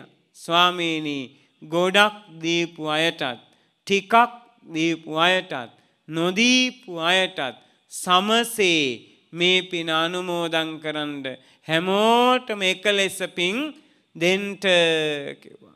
බිලාල පාදක සෙට්ටිට ඇස් ඇරුණා. මේ වගේ දැවන්ත සත්පුරුෂයෙකුටද මං දොස් කීවේ කියලා. බුදුරජාණන් වහන්සේ ළඟට ගිහිල්ලා සමාව ගත්තා. බලන්නකෝ මස්සුරු මිනිස්සයා දෙන්න දෙන්නෙත් නෑ දෙන අයට අපහාස කරනවා.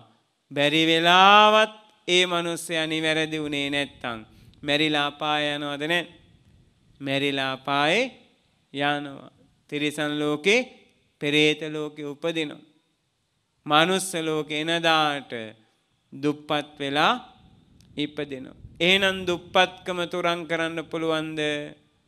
පුළුවන්. කොහොමද?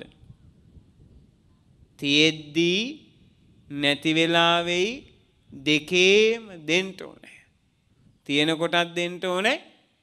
නැතුවමත් දෙන්න ඕනේ. දුන්නොත් හැමෝම දුප්පත්කම සදහාටම තුරන් වෙනවා. ඒත් දෙන්නේ නැති නිසා මේක කවදාවත් නැති කරන්නට බෑ. දුප්පත් පෝසත් ભેදේ මේ ලෝකේ තියෙනවා මයි දෙන නොදෙන දෙයක් තියෙනකම්. දෙනවා නොදෙනවා කියන දේ තියෙනකං දුප්පත් පෝසත් කියන බේදේ තියෙනවා කියන. නැති වෙලාවෙත් දෙන්ට ඕන කියන. එතකොට ලැබෙනවා කියන. නැති වෙලාවේ තමයි දෙන්නම ඕන කියන. එතකොට අනිවාර්යෙන්ම ඊළඟට ලැබෙනවා කියන. අපි පුරුදු වෙලා ඉන්නේ තියෙනකොට දෙන්ටනේ. නෑ දෙන්ට ඕනන්නේ නැති වෙලාවේ බැරිම වෙලාවෙ කියන. එතකොට ජීවිතෙත් එපා කියලා දුන්නොත් තමයි කියන. මහත්ඵල මහානිසංස. මේක මහා පිනක් වෙනවා නැති වෙලාවෙ දුන්නොත්. ඉතින් මොකද වෙන්නේ? අපි දෙන්න ඕනේ. ඔන්න තාත්තා කෙනෙක් හිටියා වඩු මාස් කෙනෙක්. ඒ වඩු මාස් උන්හැගේ නෝනයි දුවයි ලේලී ගෙදර හිටියා. හැමදාම මේ තුන් දෙනාගේ වැඩේ හවසට බුදුන් වඳින්න යනවා චෛත්‍යයක් තියෙනවා ධාතු තැන්පත් කරපු එතෙන්ට. ඉතින් මල් කඩාගෙන පහන් පත්තු කරගෙන මොකද වෙන්නේ? ඕන්න බුදු පුදට යනවා හවසට. එක දවසක් වඩු බාසුන් නැහැ. කොහෙදෝ ගිහිල්ලා එනවා මහන්සි පිට. ඕන්න තුන් දෙනා දැන් ලකලෑස්ති වෙලා ඇඳගෙන පන්සල් යනවා චෛත්‍ය වන්දනාවට. ඇහුවා තාත්තා කොහෙද බොල යන්නේ? ඒතකොට කිව්වා චෛත්‍ය වන්දනාවට තාත්තා කිව්වා වන්දනාවටනේ ඒකෙක් යන්නේ අද හිටපියව් ගෙදර කිව්වා. ගියොත් හතර ගාතේ කඩනවා කිව්වා. යන්න මෙතන සෑ වන්දනාවට කියලා තාත්තා බැන්න. වඩු බාසුන් නැහැ. ඊයේ ගිහිල්ලා තිබුණොත් හතර හන්දි කාඩනවා කිව්වා. යනවා මෙතන හැමදාම සෑ වන්දනාවට කියලා බැන්නා. ඔච්චරයි ඕනේ. ටික කලක් ගිය වඩු බාසුන් නැහැ මැරුණා. මැරිලා අපායේ ඉපදුනා කියන. අපායේ ඉපදිලා අර කරපු පවට මේ මහ පොළොවේ පස් ස්වභාවිකව ඉස්සෙනකන් මොකද උනේ මේ මිනිස්සයා මැරුණා කියන මැරිලා ඉපදුනා කියනවා පෙරේතෙක් වෙලා. ඉපදුනා කියනවා කවුරු වෙලාද? පෙරේතෙක් වෙලා. පෙරේතෙක් වෙලා ඉපදිලා ඉන්නකොට දැන් කාශ්‍යප බුද්ධ කාලේ තමයි මේ සිද්ධිය වෙන්නේ. ගෞතම බුදුරජාණන් වහන්සේගේ කාලේ මුගලන් මහරහතන් වහන්සේ ඔය කැලෑව ළඟින් යනකොට ඒ චෛත්‍ය තිබුණ තැනින් යනකොට දකිනවා කියනවා කටෙන් පණුව වැක්කෙරෙන කට දෙපැත්ත කෑලි කෑලි කපන පෙරේතෙක් ඒ පෙරේතයාගේ කට දෙපැත්තම කපනවා කියන කපලා ලුණු මිරිස් ඔබනවා කියන කටේ කටෙන් පණුව වැක්කෙරෙනවා කියන ඊට පස්සේ ස්වාමීන් වහන්සේ අහනවා කරන ඇයි මේ කියලා. අනේ මං චෛත්‍ය වන්දනාවකට යන්න හදනකොට අපේ දුවටයි අපේ ලේලිටයි අපේ උන්දටයි බැනපු විපාක කියනවා.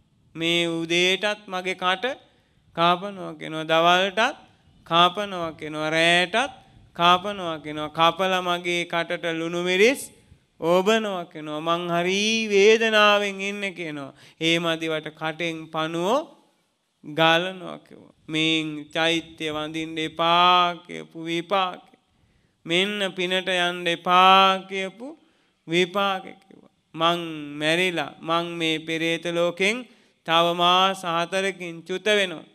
ඒ කියන්නේ කාශ්‍යප බුද්ධ කාලේ ඉඳලා ගෞතම බුද්ධ ශාසනය වෙනකං බුද්ධාන්තර කල්පයක් පෙරේතෙක් වෙලා මං තව මාස ගානකින් මේ පෙරේත ලෝකෙන් චුත වෙනවා. කරපු පින්කම් දෙක තුනක් නිසායි මෙහෙමවත් හිටියේ. මේ පිනත් පෙරේත ලෝකයේදී විඳලා ඉවර වෙච්ච නිසා ඊතුරු පව් ගෙවන්ට මං අපාගත වෙනවා. අපායේ මහා දුකක් මට විඳින්න තියෙනවා. යම් දවසක මං මේ පතන්නේ අනේ කවදා හරි මං manuss ලෝකෙක ඉපදේවා. ඉපදුන දවසට නම් මං කවදාවත් ආයේ චෛත්‍ය වඳින්න එපා කියන්නේ නෑ. බුදුන් වඳින්න එපා කියන්නේ නෑ. මල් පහන් පුද පූජා පවත්වන්න එපා කියන්නේ නෑ. මමත් මේ බලන් ඉන්නේ. ඉක්මනටම manuss ලෝකෙ ඉපදෙලා. චෛත්‍ය වඳින්න යන්නේ කවද්දෑ කියලා මමත් මේ හිත හිතා ඉන්නේ බුදුන් වඳින්න එපා කියපු එකේ චෛත්‍ය වඳින්න එපා කියපු එකේ කරුමික මහත කියලා ඔන්න පසුතැවුණලු.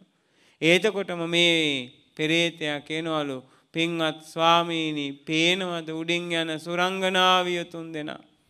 පේනවා කිව්වලු. දන්නවද කවුද කියලා? කියන්නකො බලන්න කවුද කියලා කිව්වලු. ඔය අර මම එපා කියද්දී බුදුන් වඳින්න යන්නේ නැතුව ගෙදරට වෙලා හිත හදාගෙන එදා බුදුන් වැඳපු මගේ නෝනයි මගේ දුවයි මගේ ලේලී තුන් දෙනා බුදුන් වැන්ද පිනට ඕන් මොකද වෙලා තියෙන්නේ? දිව්‍ය ලෝකේ ගිහිල්ලා කිව්වා. දැන් තියෙන ප්‍රශ්නේ මොකද්ද? අම්මා තාත්තා කියනවා මහත්තයා නෝනට කියනවා කෝ පහන තිබ්බද? කියලා අහනවා ඊළඟට අම්මා අහනවා පුතේ පල් ටික කඩලා පහන තියන්න මට බෑ. අද මල්ලිගේ දවස්. ඕන් අපේ ගෙවල් වල බුදුන් වඳිනවා. දැන් හිතාගත්ත හැකිනේ වෙන දේනේ. මට බෑ මල්ලිගේ දවස. නේද? දැන් හිතාගන්නකො වෙන දේ ලේසි වෙන්නේ නෑ. ඉතින් මොකද වෙන්නේ? පින් කරන්නෙත් නෑ කරන අයට දෙන්නෙත් නෑ. කවුද පිදුරු කන්නෙත් නෑ කන කාටද දෙන්නෙත් නෑ කියලා ගමේ ගොඩේ කතාවක් තියෙනනේ. කවුද පිදුරු කන්නෙත් නෑ කන කාටද දෙන්නෙත් නෑ කියලා කතාවක් තියෙනව නේද කරන්න දෙන්නෙත් නෑ. එයාලා කරන්නෙත් නෑ. ඉතින් ආං පිනට බාධා කරනවා. අකුසලයට හිත යොමු කරවනවා. දානෙ දෙන්න දෙන්නේ නෑ. මස්සරුයි ලෝබයි දන් දෙන අයට අපහාස කරනවා. නේද? ඕන් තරුණ ජෝඩුවක් එහෙම රකලා ඇස්ති වෙලා සුදු ඇඳගෙන පන්සල් යන්න ලෑස්ති වුණොත් මොකෝ කලකිරිලාද? පවුලේ ආරවුලක්වත් ඇයි දැම්මම ඒ මොනවා හරි අරුබුදයක්ද කියන්න අපිත් මොකක් හරි උදව්වක් කරන්න. දැන් මේ තරුණ අය සිල් ගන්න යනකොට අහන ඒ කතා. එතකොට එනං සිල් ගන්නේ පවුල් කැඩිච්ච අය භාවනා කරන්නේ පවුල් කැඩිච්ච අය කියලායි මෙයාලගේ හිතේ. හරියට මේ අය ගෙදරට වෙලා කිරි පැණී වගේ සතුටෙන් ඉන්නවා වගේ. අපිනේ දන්නේ වෙනදේ නේද? අපිනේ දන්නේ ඔය වෙන දේවල් නේද? hina වෙවි හිටියට නේද? අපි දන්නවා වෙන දේ තනි තනියම ඇහුවොත් කියයි නේද ආයේ අහන්න බැරි දුක හිතෙන කතා නේද සමහර ගෙවල් වල කාන්තාවන්ගෙන් ආපම අක්කේ මොකෑ මේ තොල්පොට අනේ බලන්නකෝ බාත්රූම් එකේ වැටිලා පැලුණනේ කියන. ගමේ පේන මානක බාත්රූම් එකක් නේ බලපුවම ගෙදර කෙනා ගහලා. නේද? ආන් මොකද වෙන්නේ? කරන අයට කරන්න දෙන්නේ නෑ. ඒ මදිවට තව අපහාසත් කරනවා. තරුණ අය තමයි සිල් ගන්න ඕනේ. තරුණ කාලේ තමයි භාවනා කරන්න ඕනේ. ඒ අයට තමයි අවබෝධ කරන්න ලේසි. වයසට ගියාම අමාරුයි. දුකයි වෙහෙසයි. නේද? ඉතින් මොකද වෙන්නේ? දෙන්නෙත් නෑ. දෙන්න දෙන්නෙත් නෑ. ඒ අය මොකද වෙන්නේ? අපහාස කරනවා කියනවා දෙන අයට. චෝදනා කරනවා කියනවා. කරදර කරනවා කියනවා. එහෙම කරලා මොකද වෙන්නේ? යාලා මැරිලා අපාය යනවා කියනවා. තිරිසන් ලෝකේ උපදිනවා කියනවා. පෙරේත ලෝකේ උපදිනවා කියනවා. දානෙ දෙන්න දුන්නේ නැති නිසා මස්සුරු නිසා ලෝභ නිසා එයාලා මැරිලා කොහෙද උපදිනවා කියන්නේ? අපායේ තිරිසන් ලෝකේ පෙරේත ලෝකේ ඉපදිලා යම් දවසක මනුස්ස ලෝකේ ඉපදෙනකොටම දුප්පත් වෙලා උපදිනවා කියනවා. ඇඳුම් බැඳුම් නැතුව උපදිනවා කියනවා කෑම බීම නැතුව උපදිනවා කියන. එහෙනම් ඔච්චර කෑම කඩ තිබුණත් ඇයි කෑම නැත්තේ? ඇඳුම් කඩ ඕන තරම් ඒත් මුදලාලිට දෙන්න හිතෙන්නේ නෑ අපූර්වට දන් දෙන මිනිස්සයාට සමහරුන්ව දැක්කාම දෙන්න හිතෙන්නේ නෑයි එයාට දෙන්න හිතෙන්නේ නෙවෙයි අර මිනිස්සයා ගණ්ඩ පින් කරලා නෑ නොදීපු පවට ලැබෙන්නේ නෑ සමහරු ඉන්නවා මොකද වෙන්නේ? දුන්නු නිසා ලැබෙනවා. ඔය තියෙනවා මොනරාගල පැත්තේ නගරයක්. ඒ නගරේ මොකද වෙන්නේ? ඉඳලා තියෙනවා කතරගමට පාරක්. බුත්තල ඉඳලා කතරගමට කැලෑ පාරක්. ඉතින් ওই පාර යනකොට දවසක් මොකද වෙන්නේ? ওই පාර මැද්දේ අලියෙක් හිටන් ඉන්නවා ඒ අලිය මොකද වෙන්නේ හරියටම පාර මැද්දෑවේ ඉන්නේ. මේ පැත්තෙන් යන වාහන වලින් පළතුරු කනවා. දුන්නේ නැත්තම් යන්න දෙන්නේ නැහැ. ඊට පස්සේ වාහන පහක් හයක් යවලා අනිත් පැත්තේ ටිකක් යවනවා. එහෙන් එනේවට පළතුරු දෙන්න ඕනේ. ඉතින් ඇතා හරි අලිය හරි මොකද වෙන්නේ පාර මැද්දෑවේ ඉඳලා ඕන්න පළතුරු කන ඉතින් දවස ගානේ පැය 10ක් 15ක්ම මුල් දවස් දවල් දවසම මොකද කරන්නේ? යන යන වාහනෙන් පළතුරු කානවා නොකා පළතුරු නොදුන්නොත් යන්න දෙන්නේ නෑ. දවසක් අපිත් වැඩිය ඔය පාරේ. මායි තව ස්වාමීන් වහන්සේ කෙනෙකුයිත් වාහනයක තව පිරිසක් එක්ක වැඩිය. වාඩිනකොට උන් අපිවත් නැවැත්තුවා. ආලියා. ඊට පස්සේ අපිත් ඉතින් කෙසෙල් ඇවරියක් අරන් ගියා කෝකටත්. දන්නවනේ මගේ ඉන්න බව. ඊට පස්සේ අපේ රියදුරු මල්ලි නැවැත්තුවා. නැවැත්තුවට පස්සේ අලියා කෙලින්ම මූණ තිබ්බ ලං කරලා වාහනේ ගාවට. බැලුවා හොඳට ඇස් ඇරලා. ඇස් දෙකෙන් කඳුළු වැක්කිරුණා. වැක්කිරිලා අලියා හිමින් පස්සට ගියා. පාරෙන් අයින්ම වුණා බිම්බලාගෙන හිටියා. ඇයි අපේ කෙසෙල් හොඳ නැද්ද? නෑ. මගේ උඩෙක්කේ බුදුරජාණන් වහන්සේගේ ධර්ම සේනාධිපති වෙච්ච සාරිපුත්තයන් වහන්සේගේ ධාතුන් වහන්සේ නමක් වැඩ හිටපු කරඬුවක් තිබුණා. ඇතාටත් සංගගුණ දැනෙනවා අසිරිය දැනෙනවා අපෙන් ඉල්ලුවේ නෑ දුන්නත් ගත්තේ නෑ පස්සෙන් පස්සට ගියා කොහොමද තිරිසනෙකුට දැනෙන සංගගුණ අපිට දැනෙන්නේ නැති හැටියක්. මිනිස්සුන්ට දැනෙන්නේ සමහර විට. නේද? ඒත් ඒ තිරිසනාට දැනුණ මොකක් හරි හේතුවකට. පින්වත්නි ඇයි ඊට එහා පැත්තේ අලි දැක්කා වේලිච්ච තනකොළ කකා ඉන්නවා. අරයතා විතරක් අරාලිය විතරක් ඇයි පළතුරුම කන්න. සිල් බිඳගත්තු නිසයි තිරිසන් ලෝක ඉපදිලා තියෙන්නේ බුදුරජාණන් වහන්සේට අනුව. සිල් බිඳගත්තු නිසා තිරිසන් සත්තු වෙලා ඉපදිලා. දානෙ දීපු නිසයි පළතුරු කන්න ලැබෙන්නේ. අනික් අලි දානෙ දීලත් නෑ සිල් රැකලත් නෑ නිසා උන්ට වේලිච්ච තනකොළ. දානෙ දීලා හැබැයි සිල් බිඳගත්ත නිසා මේ ඇතාට ලැබෙනවා කියලා බුද්ධ දේශනාව ගලපනකොට අපිට හිතන්න පුළුවන්. දුන්න නිසා ලැබෙනවා. නොදුන්න නිසා ලැබෙන්නේ නෑ එහෙනම් දුන්න දෙවියන්ගේ ප්‍රශ්නයට උත්තරයක් ලැබුණනේ. මස්සුරු කෙනා ලෝභ කෙනා දානෙ දෙන්න දෙන්නෙත් නෑ දෙන අයට අපහාස කරනවා. දොස් කියනවා. ඒ අය අපායේ තිරිසන් ලෝකෙ පෙරේත ලෝකෙ ගිහිල්ලා මනුස්ස ලෝකෙන දවසට දුප්පත් වෙලා උපදිනවා. කණ්ඩ බොණ්ඩ නැතුව උපදිනවා. ඔන්න වෙන දේ. ඊට පස්සේ මොකද වෙන්නේ මේ දෙවියා බුදුරජාණන් වහන්සේ ඊළඟට තව එතනදී බුදුරජාණන් වහන්සේ පැහැදිලි කරනවා.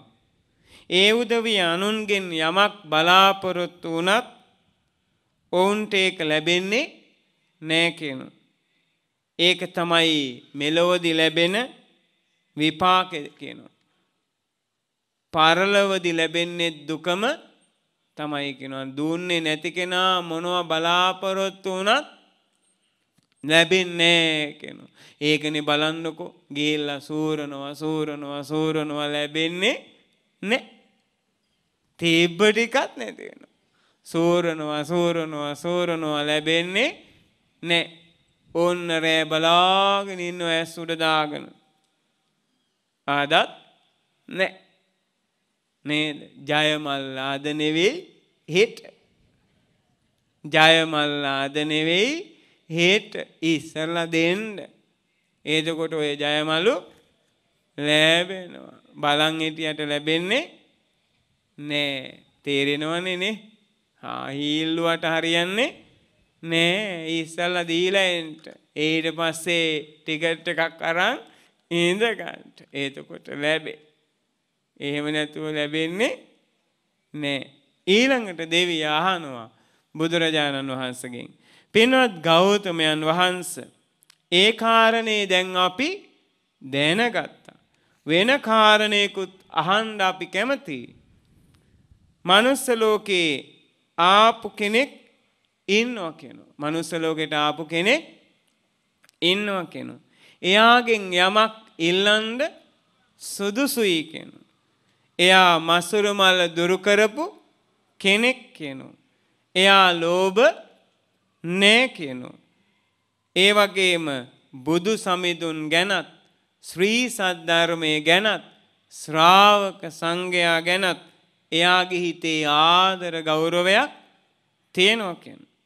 ඉතින් ඒ බඳු කෙනෙකුට මොන වගේ විපාකද ලැබෙන්නේ කියලා අහනවා. පරලොවදී මොකද වෙන්නේ කියලා අහනවා. මොනවා වෙයිද මොනවා ලැබෙයිද කොහේ යයිද කියලා අහනවා. අපි භාග්‍යතුන් වහන්සේගේ ළඟට ආවේ ඔය කාරණෙත් දැනගන්ට අපි බුදුරජාණන් වහන්සේ ළඟට ආවේ ඔය කාරණෙත් ඔය කාරණෙත් දැනගන්ට කිව්. බුදුරජාණන් වහන්සගෙන් අහනවා දෙස් පින්වත් භාග්‍යතුන් වහන්ස ඔන්න අපි දුන්නේ නැති කෙනා ගැන ලෝභ කෙනා ගැන කාරණේ දැනගත්තා කියන. අපිට තවත් කරුණක් දැනගන්ඩ තියෙනවා කියනවා. කෙනෙක් ඔන්න මනුස්ස ලෝකෙ උපදිනවා කියනවා. එයා මසුරු මල්ල දුරු කරපු කෙනෙක් කියනවා. දෙන්න අත හෝදගෙන එන්නවා කියනවා. එයා යමක් ඉල්ලන්ඩ සුදුසු කෙනෙක් කියනවා. මස්සුරු මල දුරු කරලා කියනවා. ඒ වගේම එයා බුදුරජාණන් වහන්සේ ගැනත් ධර්මය සංඝයා ගැනත් හරී පැහැදීමෙන් ඉන්න කෙනවා. ස්වාමීනී භාග්‍යතුන් වහන්ස එයාට මොනවගේ විපාකද ලැබෙන්නේ. පරලවදී එයාට මොකද වෙන්නේ. එයාට මොනවද ලැබෙන්නේ. ස්වාමීනී භාග්‍යතුන් වහන්ස අපි ඔය කාරණෙත් ඔබ වහන්සගෙන් දැනගන්ට සතුටුයි කෙන. ඒ වෙලාවෙ බුදුරජාණන් වහන්සේ දේශනා කරනවා. යමෙක් මනුස්ස ජීවිතයේ ලබාගත්තනං එයාගින් යමක් ඉල්ලන්ට සුදුසුනං එයා තුළ මසුරුමල නැත්තං ඒ වගේ මෙයා බුදුරජාණන් වහන්සේ ගැන ධර්මය ගැන ශ්‍රාවක සංඝයා ගැන ආදර ගෞරවයෙන් නම් ඉන්නේ.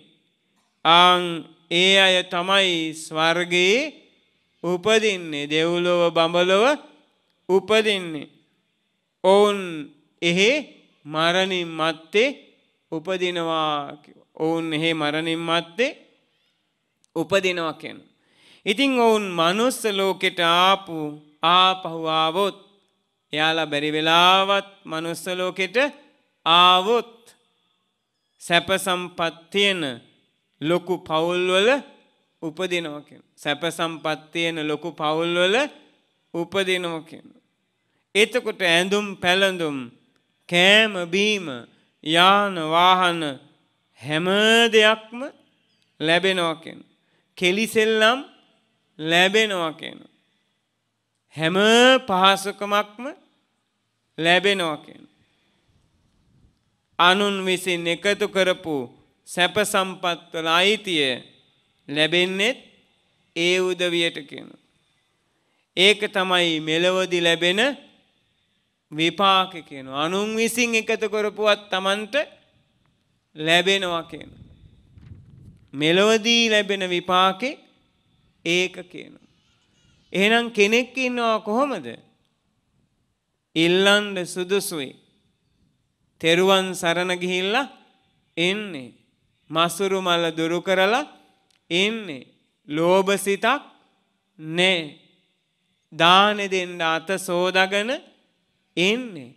ස්වාමීනී මෙයාට මොකද වෙන්නේ කියලා ඇහුවා. බුදුරජාණන් වහන්සේ දේශනා කළා එයා මැරිලා ස්වර්ගයේ උපදිනවා කිව්වා. දෙව්ලොව බඹලොව ඉපදිනවා කිව්වා. බැරි වෙලාවත් මනුස්ස ලෝකේ ආවොත් එයා රාජ රාජ මහා මාත්‍යවරු වෙලා උපදිනවා කිව්වා. මහා පවුල්වල උපදිනවා කිව්වා. පෝසත් වෙලා උපදිනවා කියනවා. ඉඳුන් හිටුන් වල අගහිගයක් නෑ කියනවා. කෑම බීම වල අගහිගයක් නෑ කියනවා. ඇඳුම් පැළඳුම් ඇති පදන් කියනවා. මහා සතුටෙන් ඉන්නවා කියනවා.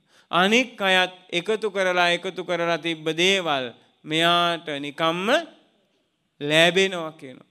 බලන්නකො පින්වත්නි සමහර තාත්තලා දුකසේ හම්බ කරනවා කරනවා කරනවා හුඹ හම්බ කරපුවාම ඒ පවුලේ උපදිනවා පුතෙක් තාත්තා දුකසේ හම්බ කරපුවල අයිතිකාරයා වෙලා ඒ ඇයි තාත්තට දුකසේ හම්බ කරන්න වනේ දීපු විදිහට පුතා ඒ පවුලේ උපදින්නේ එයා දාන දීලා වැඩි නිසා අනුන්ගේ දේ තමන් අයිතිකාරයා වෙනවා. සමහර විට තාත්තා හම්බ කරපු එකෙන් මහ සැපක් විඳින්නේ නෑ. නේද? මතකනේ අපිට ගෙදර පොල් කොට රෝදයක්වත් තිබ්බේ නෑ සෙල්ලම් කරන්නට. නේද? ඔය ගමේ පොල් ගහක් කපනකම් බලන් ඉන්නවා සෙල්ලම් බඩුවක් හදාගන්න. නේද? අපි සෙල්ලම් කරන්න ඕන වෙනකොට ගස්වල කුරුම් බැට්ටි වැටෙන්නේ නෑ අඩු ගානේ කුරුම් බැට්ටි මැසිමක්වත් හදාගන්නට. ඒ දැන් කාලේ එහෙම ඇනේ. ආ එක එක්කෙනාගේ පිනේ වෙනස මතකනේ අයියාගේ එක මං මගේ එක මල්ලි මල්ලිගේ එක චූටි මල්ලි ඇන්දා. නේද? ඇයි අපි දීපු පමණ නේද? අපි දීපු හැටි. ලුණුයි බතුයි කෑවා මතකනේ. අඬා අඬා දීපු වේදිහ නේද? ආන් ඇඬුවට හරියන්නේ නෑ වපුරුපු හැටියටයි අස්වැන්න. කෙනෙක් ඉන්නවා කෙනවා දානේ දෙනවා කෙනවා මස්සුරු මල්ල දුරු කරලා කෙනවා. එයාගෙන් ඉල්ලන්ඩ සුදුසුයි කෙනවා. එයා නිකං නෙවෙයි තෙරුවන් සරණ ගිහිල්ලා කෙනවා.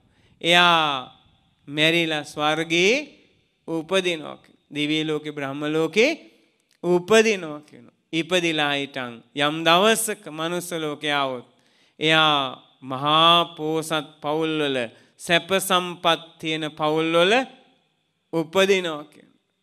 ඉපදිලා බොහෝ සැප සම්පත් විඳිනවා කියන. කෑම බීම ආතට පයට හොඳට ලැබෙනවා කියන. ඇඳුම් පැළඳුම් ලැබෙනවා කියන. ආතට පයට සේවකයෝ ඉන්නවා කියන. මහා සැපක් විඳිනවා කියනවා. ඒක තමයි කියනවා ඒ දීපු එකේ විපාක. ඊළඟට එයාට අනුන්ගේ දේ පවා එකතු කරපුවා ලැබෙනවා කියන. එකතු කරලා එකතු කරලා එයා වෙනුවෙන් තියෙනවා කියනවා. එයා ආපු ගමන් ඒව පාවිච්චි කරනවා කියනවා. මොකක්ද හේතු? දීපු එක. එහෙනම් පෝසත් වීමේ රහස මොකක්ද? තෙරුවන් සරණ ගිහිල්ලා දන් දීම. කොහොමද දන් දෙන්න ඕනේ? තෙරුවන් සරණ ගිහිල්ලා දන් දීම. තිසරණේ සරණ ගිහිල්ලා දෙන දානේ මහත් ඵලයි මහානිසංසයි. බත් හැන්දක් දීපු අය දෙව්ලොව ගියාද නැත්? දෙව්ලොව ගියානේ කාශ්‍යප මහරහතන් වහන්සේට සංඝගුණ සිහි කරගෙන පාත්තරේට දැම්මේ ඉඳුල් වෙච්ච බත් ටිකක් කකා හිටියේ ලාදුරු හැදිච්ච රෝගියා බත් කකා ඉන්න තැනට දවස් හතක් නිරෝධ සමාපත්තියට සමවැදිලා හිටපු. දවස් හතකින් දානෙන වළඳපු අපේ කාශ්‍යප මහරහතන් වහන්සේ වඩිනෝ වැඩලා අනුකම්පාවෙන්මයි වඩින්නේ. වැඩලා හිටන් මොකද වෙන්නේ? කාශ්‍යප මහරහතන් වහන්සේ බලාගෙන ඉන්නවා. වඩින්නේ නෑ ඉවතට. මේ මිනිස්සයත් තේරුම් ගන්නවා මගෙන් ඉල්ලන්ඩයි ආවිකයන්ට. මේ මිනිස්සයා අනපු ටිකෙන් ටිකක් අතට අරගෙන ලාදුරු අතෙන් අතර අරගෙන ඔහොම පාත්තරයට පූජ කරනවා. පූජ කරනකොට බත් විතරක් නෙවෙයි ලාදුරු ඇඟිල්ලකොත් පාත්තරයට වැටෙනවා. මහා 이르දියක් තියෙන කාශ්‍යප මහරහතන් වහන්සේ. මොකක්ද ඊරදිය අහසින් යන එකම නෙවෙයි. ප්‍රියදේ අප්‍රිය විදිහට දකින එක. අප්‍රියදේ ප්‍රියවිදිහට දකින එක ඉරදියක් මහනෙන ඒ ඉරදිය තමයි බුදුවරු වර්ණනා කරන්න කියනු. අහසින් යන එක නෙවෙයි කියෙන. මොකක්ද බුදුවරු වර්ණනා කරන ඉරදිය. ප්‍රියදේ අප්‍රිය විදියට දකින එක. අප්‍රියදේ ප්‍රිය විදිහට දකින එක ඔබ පිළිගන්න ඔබට 이르දි නෑ. ඇයි? ඔබ දැක්කේ කොහමද? ශා ලස්සන මට්ටම කියලා ඉන්න කෙනා. මගේම වෙන්න ඉන්න කෙනා. බලන්නකෝ ඇහි බැමි වල ලස්සන බලන්නකෝ නිකන් ඇස් දෙක නිල්ම නිල් පාට. අම්මේ ඇවිදින දේවාංගනක් වගේ. ඕන් ගම්බින් බලන්න ගිහින් ඇවිල්ලා කියනවා. දැක්කේ කොහොමද? අප්‍රිය දේ ප්‍රිය විදියටද නෑ. ප්‍රිය දේ අප්‍රිය විදියටද නෑ. යා දැක්කේ ප්‍රිය දේ ප්‍රිය විදියට. ඒ අය හැමදා පැරදුනා. ඒ නිසා දැන් ඉතින් දාසකම් කර කර ඉන්න වෙලා නේද? ඒත් දැක්ක රූපේ යටිපතුලේ ඉඳලා උඩට කෙස් වලින් යටට හමකින් වහලා තියෙන ඔය රූපේ අසූචි ගොඩක් කියලා සිහි කරපු හැමෝම පිරිනිවන් පෑවා. එහෙම හැමදා සිහි කරපු අය. නිතර නිතර සිහි කරපු අය. ප්‍රියදේ අප්‍රිය විදිහට දැකපු අය. අප්‍රියදේ ප්‍රිය විදිහට දැකපු අය පිරිනිවන් පෑවා. ඉතින් කාශ්‍යප මහරහතන් වහන්සේ අප්‍රිය ඇඟිල්ල ප්‍රිය විදියට දැකලා පැත්තකින් තිබ්බා. දානෙ නොවළඳා ගියොත් ඒ මිනිස්සයාගේ හිත පහදින එක අඩු වෙන නිසා මේක දානෙ ටික විසික්කයි කියලා හිතපු නිසා එතනම ඉඳගත්ත තැනක් බලලා වාඩි වෙච්ච ස්වාමින් වහන්සේට ලාදුරු රෝගියා අන්දාන්ඩ කියනවා ස්වාමීනි ඇඟිල්ලක් වැටුණා දානෙ ඉඳුල්ලුණා වළඳන් දෙපා කියලා අන්දනවා. සකාශ්‍යප මහරහතන් වහන්සේ මොකද කළේ? පැත්තකින් ඇඟිල්ල තියලා පාත්තරේම මෙන්න දාන වළඳනවා. අර මනුස්සයගේ හිත තවත් පහදින්ට. අන්දාන්ඩ සඟගුණ සීකර කර බලන් හිටියා. දාන වැළඳුවා. පින් අනුමෝදන් කළා. ස්වාමීන් වහන්සේ වැඩම කළා. ටික වෙලාවකින් එළ දෙනක් මේ මනුස්සයට ඇනලා මැරුණා. මැරිච්ච මනුස්සයයි සැනින් දෙව්ලොව ගියා. ටිකක් තේද්දි දුන්නා. ගොඩක් තේද්දි දෙන්ට ඕනේ. තිසරණේ පිහිටලා දානෙ දෙන්න ඕන. ලෝභ සිතා තෑරලා. සමහර විට අර ලාදුරු රෝගියට දවස් ගානකින් කණ්ඩ නැතුව හම්බෙච්ච කෑම ටික වෙන්න ඇති. සමහර විට මේක නොකෑවොත් මැරෙන්න ඉන්ට ඇති. ඒ මිනිස්සයා දුන්නා මස්සුරු මලා තෑරලා. ඒ මිනිස්සයා දුන්න තිසරණේ පිහිටලා ඒ මිනිස්සයෝ බත් හැන්ද පූජ කරලා මැරිලා දෙව්ලොව ගියා දේශනාව හරිනේ දේශනාව හරේ. ටිකක් තේද්දි දෙන්ට ඕනේ. ගොඩක් තේද්දි දෙන එක ගැන අහන්න දෙයක් නෑනේ. එතකොට හිත පහදවාගෙන මස්සුරු මල දුරු කරලා මොකද කරන්න ඕනේ? තිසරණේ පිහිටලා දෙන්ට ඕන කියනවා. තෙරුවන් සරණ පිහිටලා එහෙනම් කර්ම කර්මඵල විශ්වාස කරගෙන දෙන්න කියලා කියන්නේ නේ. අපල පලාපල විශ්වාස කරලා දෙනකොට පින නෑනේ. අඩුයි චූටි පිනක්. තෙසරණේ පිහිටනවා නම් කර්ම කර්මඵල පිළිගන්නම වෙනවා. ඉරහඳට බාර නොදීන්ට වෙනවා. කර්ම කර්මඵල පිළි අරගෙන දෙන්න ඕන තිසරණේ සරණ ගිහිල්ලන. ආන් එහෙම දුන්නොත් මැරිලා දෙව්ලොව ඉපදෙනවා. ඉපදුනොත් මනුස්ස ලෝකෙ බැරි වෙලාවත් පෝසත් වෙලා උපදිනවා කෑම බීම යාන වාහන ඉඳුන් හිටුන් දාස දාස්යෝ ඇතිව උපදිනවා මහේ සාක්‍ය වෙලා. බුදුරජාණන් වහන්සේ මෙන්න මේ කාරණේ වදාලා. ඒ දෙවියා බොහෝම සතුටෙන් පිළිගත්තා. ලස්සන්ට ගැලපිලා යනවද නැත්. දුන්නු අය දෙව්ලොව යනවා. නොදීපු අය සතරපායේ වැටෙනවා. ලෝභයාය මසුරු අය සතරාපායේ වැටෙනවා යම් දවසක මනුස්සලෝ කෙනකොට දුප්පත් වෙනවා. දීපු අය දෙව්ලොව බඹලොව යනවා. යම්සේ මනුස්ස ලෝකෙට ආවොත් එයාලා මහා පෝසත් වෙලා මහේසාක්‍ය වෙලා උපදිනවා. අත්හැරීමේ කලාව.